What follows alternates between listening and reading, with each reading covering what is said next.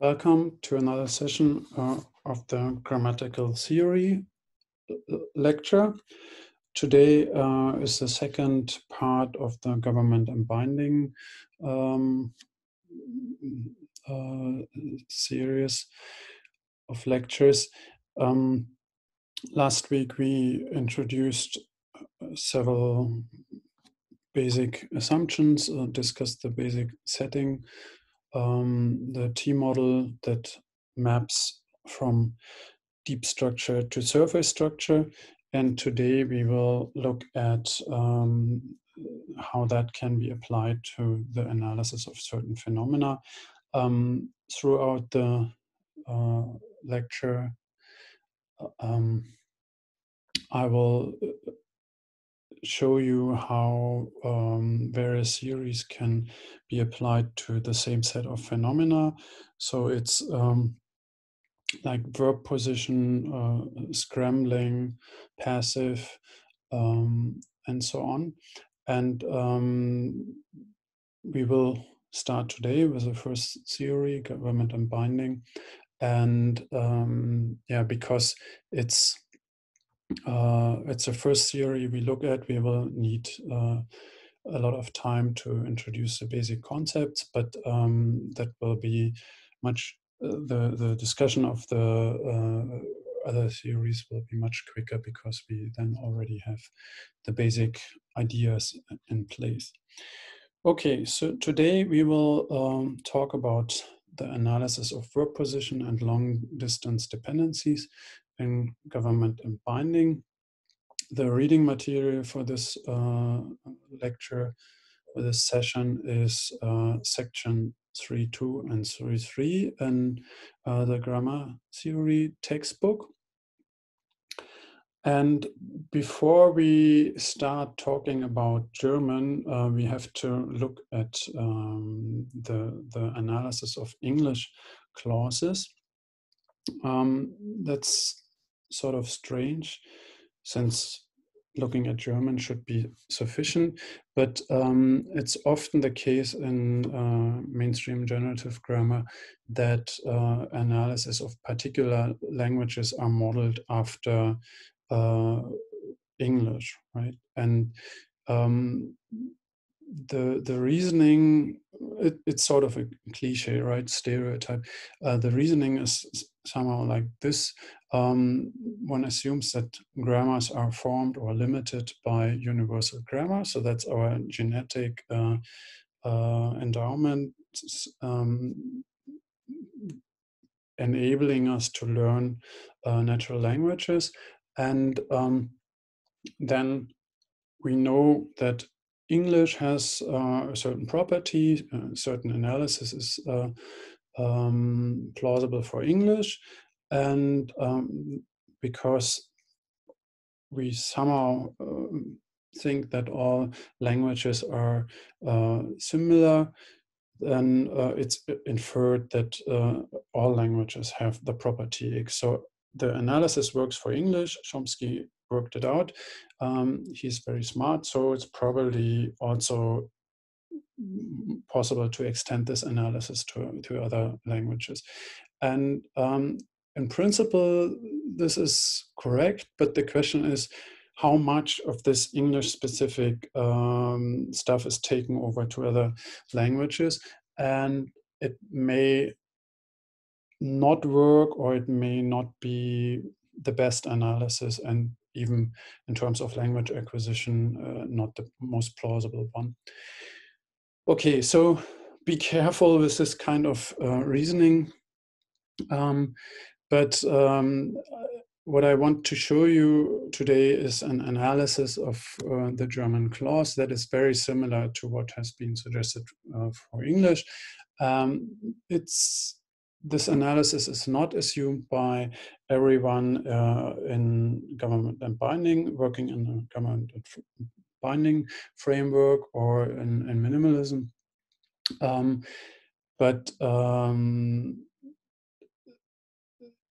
so so there are there are alternatives like the uh, uh analysis suggested by Hubert Haider, um, and these alternatives are also assumed in uh, alternative frameworks like uh, LFG or HPSG.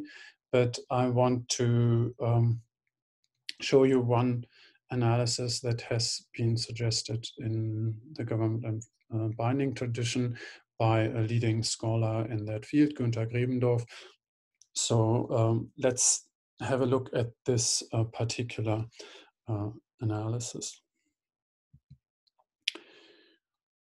Okay, so um, this is an English clause uh, with a complementizer.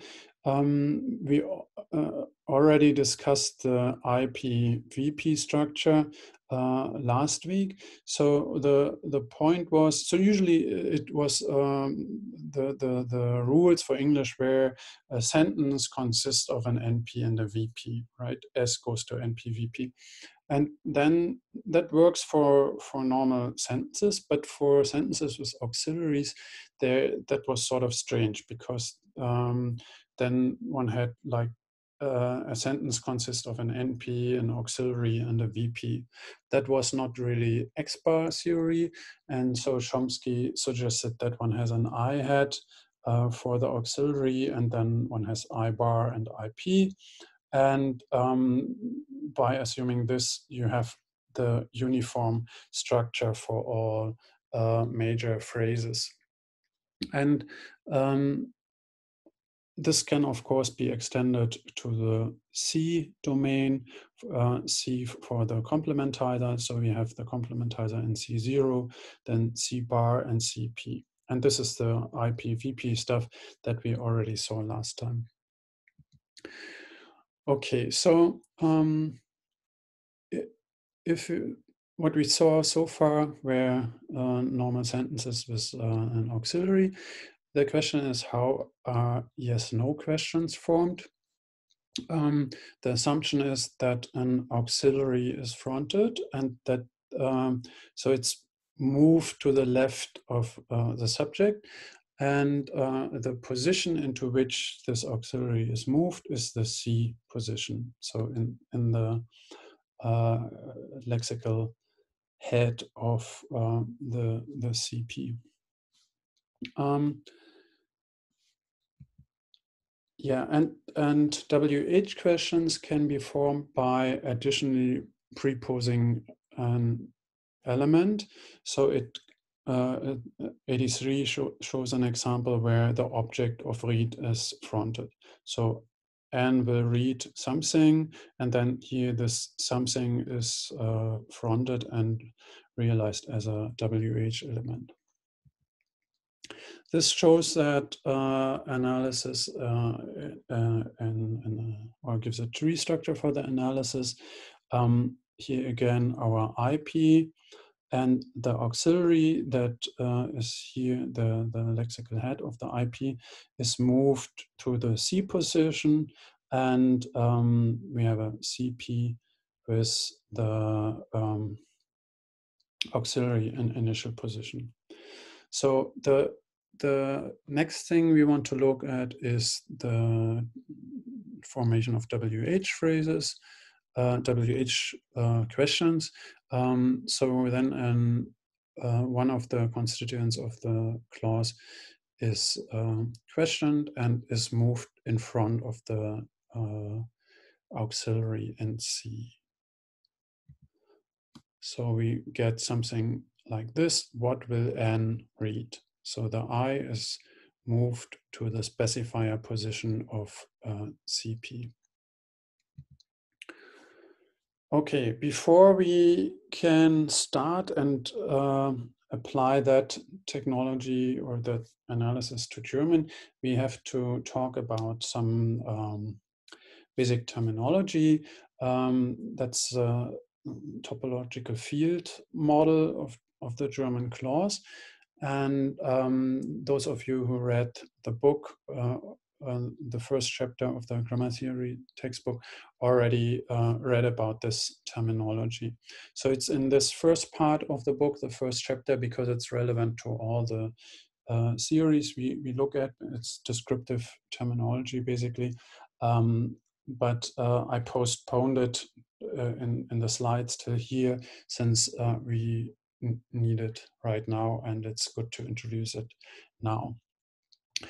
Okay, so um, the the terminology goes back to Drach uh, in the 30s. Uh, that was the first publication dealing with topological fields. The fields Drach used were a little bit uh, different uh, from what is used today. And uh, the, the terminology that is used today uh, goes basically back to Reis and Höhle. Um, and uh, Marga Reis is, uh, was professor in uh, Tübingen and uh, Tilman Höhle was her assistant. Um, he really published a, a lot of uh, very good, well, both of them, uh, very good uh, papers in German linguistics.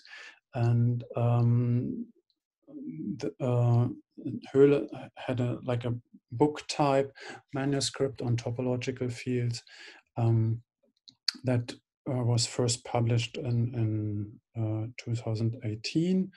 Um, it was like a draft uh, from from the 80s that was circulated, and it was first published in a volume that uh, basically republished all his papers and also uh, previously unpublished work. Okay, um, the the terminology that was introduced by Marga Reis and Tim Höhle uh, ist Vorfeld, uh, linke Satzklammer, rechte Satzklammer, Mittelfeld und Nachfeld. So pre-field, left and right sentence bracket, uh, middle field and uh, post field. There are additional fields um, uh, suggested by Gunnar Beck in the 50s. Um, it's, it's a very good book. If you read German, you should read this. Um, as well. Um, so he introduced further fields for talking about verbal complexes, but that's not uh, important for the uh, since we are dealing with in this course. So we don't introduce this terminology. Okay, so um, we, we start talking about these topological fields by looking at the positions of the verbs.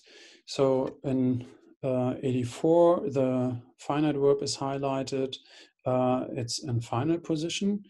Peter hat erzählt, dass er das Eis gegessen hat. So this uh, is a finite verb and it's in the final position.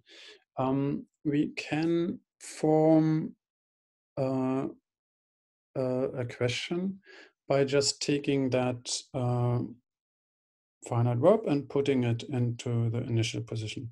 Hat Peter das Eis gegessen? We can form uh, verb second sentences like uh, declarative main clauses. Peter hat das Eis gegessen. So here it's in second position. Um, the interesting thing is that only in that examples the non the, the, the verbs are adjacent to each other uh, and all the other examples, we have the uh, the finite verb separated from the non-finite verbs and in a position to the left. It's uh, the, these um, positions where the verb, uh, the finite verb can uh, be placed are uh, called left sentence bracket and the uh, position to the right where the non-finite verbs and maybe the finite verb goes uh, are called right sentence bracket. The complementizer or conjunctions go to the left sentence bracket. Um, yeah, so weil dass ob um, go to the left sentence bracket. Um, the Höhle also published a paper in, in 79 uh, with a title Complementizer and Finite Verb um, Form a Natural Class. And he, he really compared these two items and um, say, okay, they, they behave uh, rather similar in various ways. So in German, they have uh, complementary distribution. So if this uh, thing is not um, present here, the finite verb can go to this position. So I introduced the terminology left and right sentence bracket. And uh, if we have this bracket as, um, as a as positions in, in the clause. We can talk about the uh, areas before that, between the brackets and uh, after the brackets. And that's uh, how Vorfeld, Mittelfeld and Nachfeld are defined. So the area before the left sentence bracket is a Vorfeld, the area between the brackets is a Mittelfeld, and the area following the right sentence bracket is a Nachfeld. So this is a, a, a table uh, providing an overview of some of these cases. Um, due to to space limitations, I, I cannot uh, provide glosses here, um, but you can have a look into the book uh, where the examples are glossed. So that's basically uh, the Vorfeld, the initial field, um, with some phrase in there, some it's a subject in this case, then left sentence bracket with a finite verb, uh, Mittelfeld, um, and right sentence bracket with um, uh, non-finite verbs here. They are all non-finite actually. And um, then there can be some material in the Mittelfeld. It can be empty as you see here. And there are extra-post clauses uh, in some of the examples. There are different clause types with imperatives and so on. Um, yeah. Okay, there's one interesting thing. Also um, discovered by Gunnar Bech, it's the so-called Rangprobe. So if you look at uh, 87, you see that I assigned um, these constituents to topological fields. So that would be Vorfeld, linke Satzklammer, Mittelfeld, Nachfeld. And the question is, why is this Nachfeld? Why isn't it Mittelfeld? So there is no verb here, right? So that, that should be the right sentence bracket, but there is nothing. So how do I know that it's here, the right sentence bracket? Why isn't it here? It Could be there as well, in principle. But there are reasons to assume that the right sentence bracket is here. And um, uh, the, the, the test that Gunnar Bech developed is the so-called Rangprobe. What he did is that he said, okay, let's put that into the perfect. And uh, then the right sentence bracket is uh, filled, right? So then you have, der Delfin hat dem Kind den Ball gegeben, das er kennt oder hat dem Kind den Ball gegeben, das er kennt. Um, so here you see, okay, the right sentence bracket is filled. The relative clause is positioned after the right sentence bracket. Um, if you uh, try to put the the participle to the right of this uh, relative clause, you see that the sentence is ungrammatical. So, uh, der Delfin hat dem Kind den Ball, das er kennt, gegeben. It's impossible. You cannot, it, it just doesn't work. It's strongly ungrammatical. So that shows us that if there's something, then it has to, uh, a verb, then it has to go here, right? It cannot go here. That, that means that this thing is uh, the Nachfeld, right? By analogy. Um, of course, you can uh, have the relative clause adjacent to dem Kind in the Mittelfeld, but then um, it's one constituent with uh, dem Kind. So think again in terms of boxes, right? If you open up the box for, for the clause, you see um, the stuff lying around in these fields. And here you see uh, an NP and a relative clause. And they are in, in different positions in, in the, inside the box. If you look into this box, you see just one box for the noun phrase, including the relative clause. So it's in there. Once you take it out, you have to move it to far, far to the right. So it cannot be uh, flowing around uh, in, in the middle field. That's impossible. So it has to go to the far right.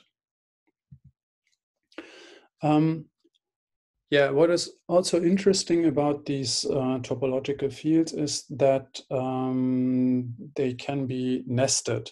So you can take something from the right periphery of the clause and front it, then you have it in a Vorfeld, but it internally in the Vorfeld it can be complex.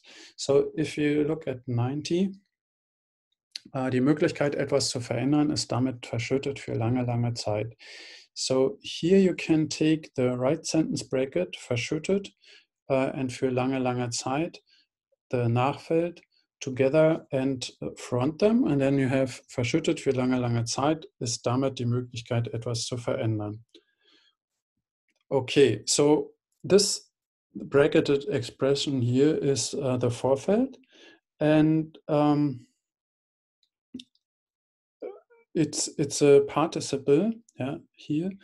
So it's a right sentence bracket and you have something here to the right of it so it's a nachfeld.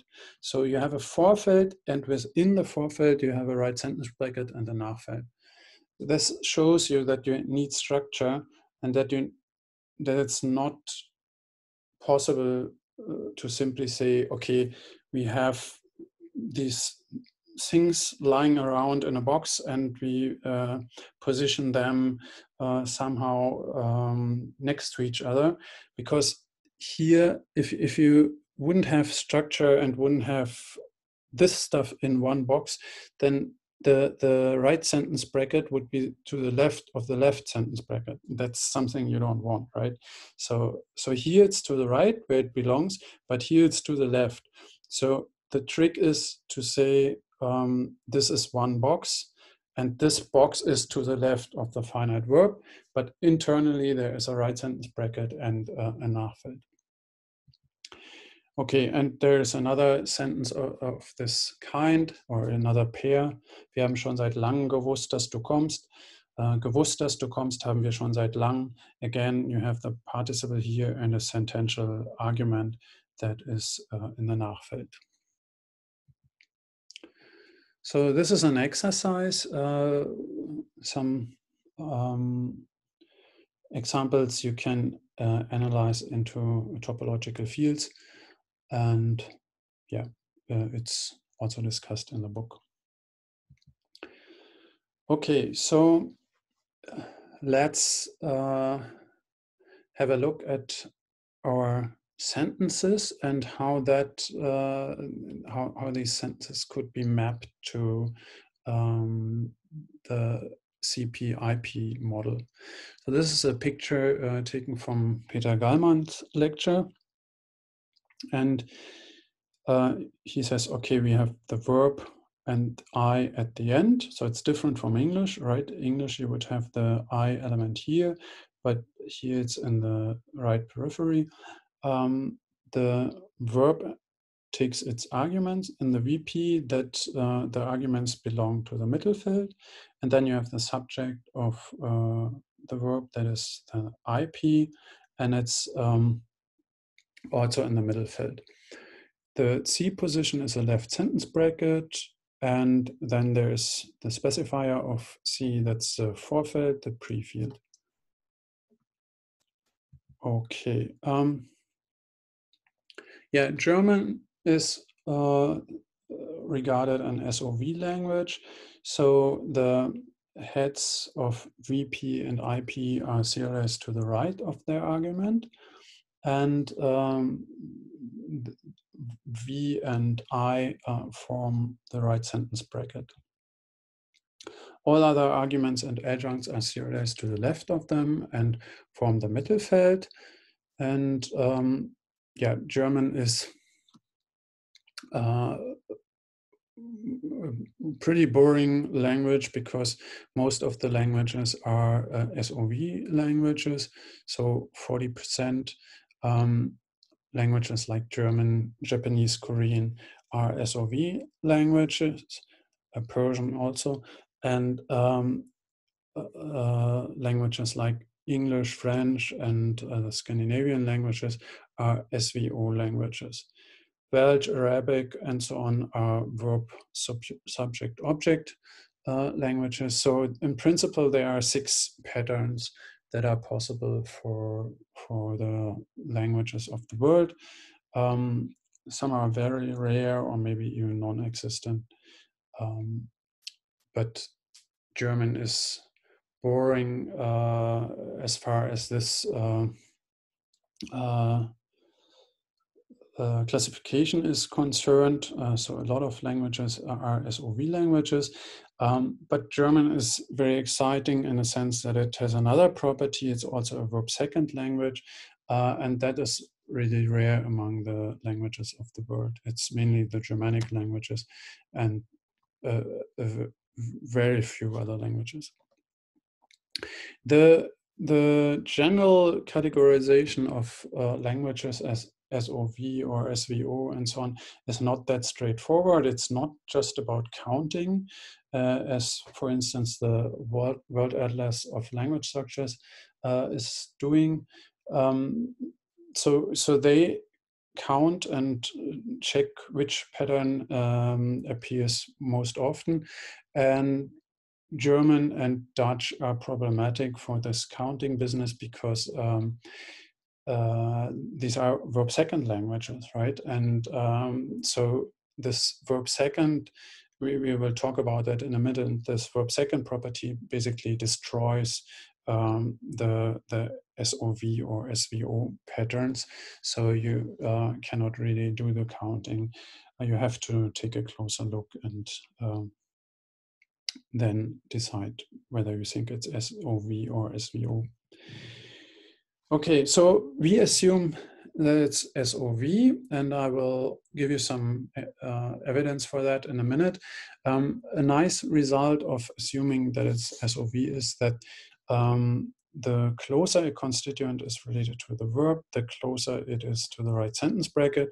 And that is uh, great if we talk about uh, idioms because um, in idioms, uh, items that belong together uh, usually um, belong to the idiom usually want to be realized together. So idioms really don't like it if they are torn apart. Um, and you get that for free if you assume an SOV uh, basic order. And what you always can, or almost always can do with idioms is that um, well, I think you can do it always with idioms, but there are other parts where you can't do it, and there are other phenomena where you can't do it. We will talk about that in a minute. So you can always take the finite verb out of the idiom and front it, and you need to do that because that's uh, uh, um, uh, device in German uh, to change the clause type. So if you want to form a question, you have to uh, front the finite verb, otherwise you can't. Well, not, not the normal, you cannot form the normal kind of questions. Okay, so what is the evidence uh, of uh, uh, uh, underlying SOV order. Um, the most of the uh, crucial data goes back to Manfred Bierwisch. Manfred Bierwisch was uh, the first German working in transformational grammar, so he was way ahead of other Germans who did other stuff in the 60s.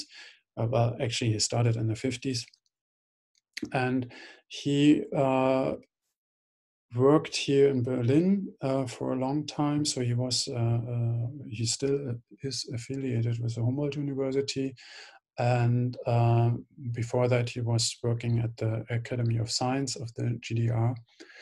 And um, yeah, he, he was the, the first German and uh, East German uh, working on this this type of theories, and he argued that, uh, for example, particle verbs constitute evidence for um, a transformational analysis uh, that starts out with verb final sentences and uh, derives verb initial sentences uh, from verb final sentences. So he noticed that uh, if you have particle verbs like anfangen, which mean to start, um, then the verb is only together in a verb final uh, sentence. And if you want to form a uh, declarative clause or a question, you take the verbal part of the particle verb and front this. So you tear it apart basically. And the the Anfang is an interesting uh, verb because it's non-transparent, so it doesn't have anything to do with uh, with fang. So in comparison, loslachen, yeah, is means to start to laugh, uh, has something to do with lachen. So you have the particle los and the, uh, the verbal part lachen, but uh, Anfang is different. So it's not that you have some an with the semantics and some fang. Fang in isolation means catch, um, but uh, anfang means to start, to begin.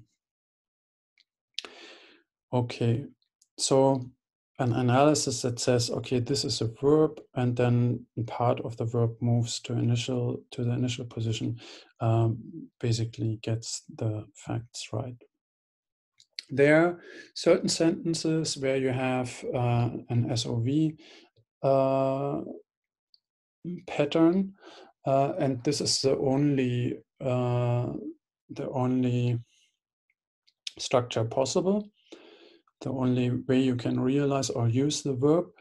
Uh, the example is again um, due to Tilman Höhle and uh, it involves something that's called uh, back formation, weil sie das Stück heute uraufführen.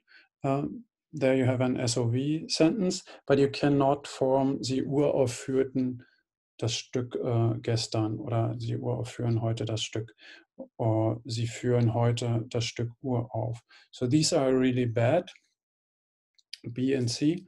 And um, the the reason is probably this uh, back formation um, history of the verb, because um, what is back formation? So it's um, basically uh, a mis misconceptualization of of a, uh, of a verb uh, or of a derivational morphology, de, morphological derivation. So people see that uh, the the noun Uraufführung and think, okay, it's it ends with an ung, so it's a nominalization. So it's probably a nominalization of Uraufführen. So and the problem is that Uraufführen Uraufführung is not a nominalization of Uraufführen. Uh, but it's a nominalization of aufführen. So we have the verb aufführen, then the umnominalization is Aufführung, and then there's a Urprefixation. So the like the first uh, uh, performance of a theater play. So the Ur is uh, the the like a prefix meaning first one, and um, then people assume wrongly that it's derived from the verb uraufführen. And this uh, strange uh, backformed uh, verb cannot be split, or a, a, lot, lot of these verbs cannot be split. Some, some can, so there's some variation. But I think the reason that this uh, is not so easy to split is that people say, okay, I, I somehow want that to be transparent so that I can go back to to the history of this. And it only works if the things are adjacent. If you tear it apart then um, people don't get that that it's coming that way. Okay. Then um, another piece of evidence for the SOV order is if you look at uh, embedded clauses, you see that the uh, verb is at the end. Um, if you look at non-finite clauses, the verbs are always at the end, uh, and it's only the finite verb that is uh, positioned in initial uh, positions, right? So here we have an uh, embedded clause with a finite verb. Um, also, if there is a complementizer, the finite verb has to go to the end. Uh, uh, some um, some uh, one set of phenomena where you really see a difference between OV and VO languages uh, is uh, if you if you look at nested embeddings uh, in German and compare that to uh, Danish or English, you see that in German the embedding verb is realized to the right of the embedded verb. So if you have a sentence like dass er ihn sah um, and turn that into perfect, you get dass er ihn gesehen hat. And if you add a modal here, then you get dass er ihn gesehen haben muss. And the highest verb is to the right, so that's as an index one, haben, zwei, uh, two, uh, gesehen, three, right? And if you do that in, in Danish or in English, then you get that he must have seen him. So the highest verb uh, first, then the embedded verb, and then the verb that this one embeds. And the object follows this uh, uh, main verb, and here the object precedes the main verb. I think that that is a pretty clear difference between the languages. And the the only thing that um, sort of breaks this uh, is uh, the finite verb. So, so this stuff stays the way it is here, but the finite verb may be fronted in German. Right. So, and this breaks the counting. If you want to say, uh, if you want to count which pattern is more frequent and so on, then you um, get into trouble because of the fronting of the finite verb. An interesting thing is uh, scope. So the scope of adjuncts. Um, Netter has uh, the two examples in, in 96, uh, dass er absichtlich nicht lacht und dass er nicht absichtlich lacht. So they, they have different meanings, the two examples, and um, they, the meanings um, correspond to what you see here with the brackets, right? So uh, to to get these different meanings, it may be helpful to think about two situations. Um, the first situation is that there's a comedian that has a new show and um, is sort of insecure, unsure whether it's good or not, and he um, uh, starts his show. And there's another comedian who doesn't like the first one, and um, he wants to annoy the, the first comedian uh, as a show and goes there and sits in the very first row. And even though this new show is absolutely brilliant and funny, uh, he doesn't laugh. So just to be mean to his colleague. Uh, so intentionally, he does not laugh. And the the other uh, uh, situation for the B example uh, would be uh, a fun reel where uh, somebody died and then people give speeches and um, one of the people in the audience uh, has to think about a situation with the person who died uh, where the person was making fun or telling jokes or whatever and he has to laugh. But of course that's uh, um, highly inappropriate uh, in, uh, in such an occasion and uh, it's not intentionally so it's not the case that he intentionally laughs so there are two different meanings and they uh, uh, correspond to the way uh, the sentences are bracketed. And the interesting thing is that this meaning doesn't change when you uh, have the verb in initial position. And uh, the one easy explanation is that the meaning of this sentence uh, basically um, corresponds to a sentence where the verb is here. So the verb is moved from here to here, it leaves a trace, and the meaning is computed compositionally exactly in the same way as it is uh, here, right? And the same is true for the second um, example with the verb in initial position. Um, if you would assume would not assume this movement, but would assume that this Lachen is combined with a nicht, and then this is combined with a absichtlich, then you would expect that this sentence, the B sentence, has the same meaning as the A sentence, but it does not, right? So that's um, an argument for um, for this verb final basic uh, position approach.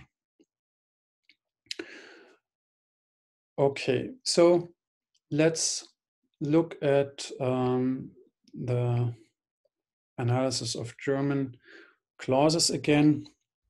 We start with um, verb final sentences. Um, the C position is filled by the um, complementizer, by the conjunction. And then here we have um, VP and IP. Um, and the verb moves the, so we have a verb stem in the verb position. It moves to the I position where we have inflectional affixes. And that's basically the analysis of uh, embedded clauses. Nothing else has to move. This is the picture, right? Dass jeder diese Frau kennt. So here we have the verbal stem and it moves to uh, the I position. Um, the, the complementizer does takes an IP as an argument. Uh, they together they form a C bar and there is nothing in the specifier of CP. Um, when we look at verb first and verb second uh, clauses, we the, it's more complicated. The verb has to move further.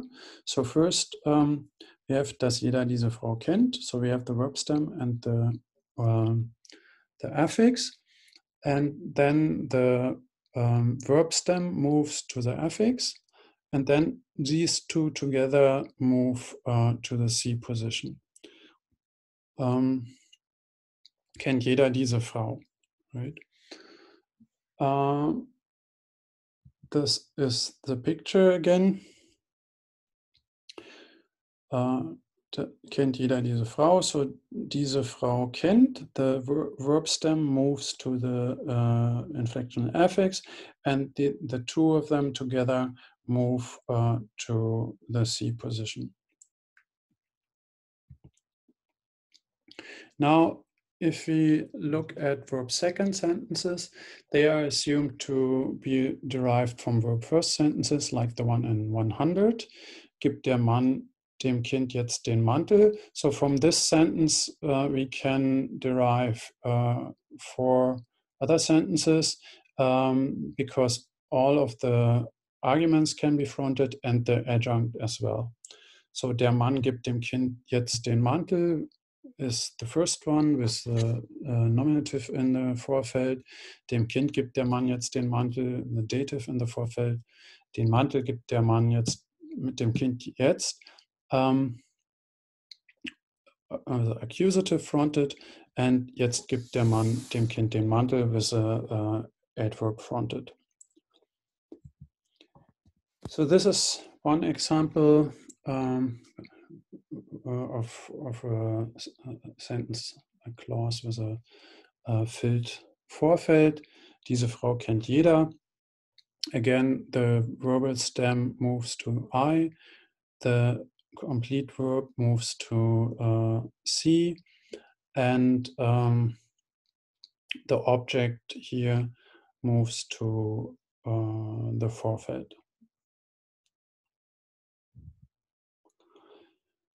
Yeah, so um, the question is what what why are things put in the Vorfeld? What triggers this uh, movement?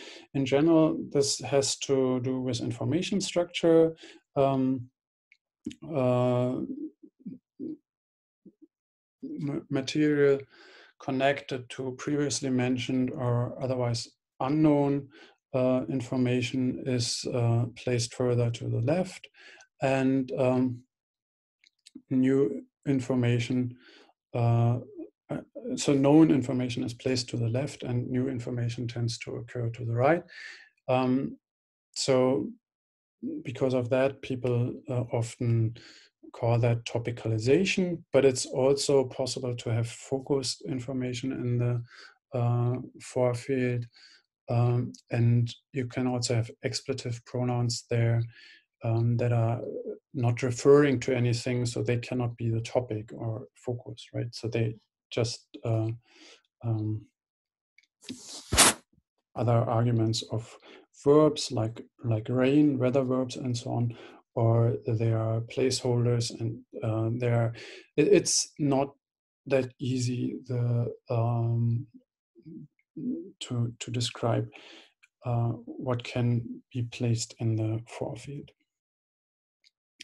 And it's uh, also true that the uh, um, Vorfeldbesetzung placement of stuff in the Vorfeld uh, is different from English uh, fronting. Um, in fronting in English is uh, much more marked than fronting in German. Um, so if you look, uh, if you read Harry Potter in English, you find things uh, like like um, normal sentences with uh, italics, right? And this is um, in, in some sometimes this corresponds to uh, Vorfeldbesetzung in German, fronting in German um, because uh, more often and or in many cases um, this what we do with fronting in German uh, is done with intonation in English. So you don't front uh, things in English that often as you do it in German. Okay, um, one more interesting thing um, about these uh, frontings in German, they are uh, non-local. So you can front things that um, start out in, in, a deeply embedded uh, uh part of the sentence. Um, an example is given here in 102. Um 2 Millionen Mark soll er versucht haben, eine Versicherung zu betrügen. So what you see here is uh, the, the uh, um zwei Millionen Mark is coming from eine Versicherung zu betrügen. Ähm, eine Versicherung zu betrügen is uh, in the nachfeld of this uh, sentence. Ja, er soll versucht haben, and, and then there is an infinitival clause that is uh, to the right of the haben here in the nachfeld. And um, from within this clause, so it depends on betrügen, um, some constituent is fronted.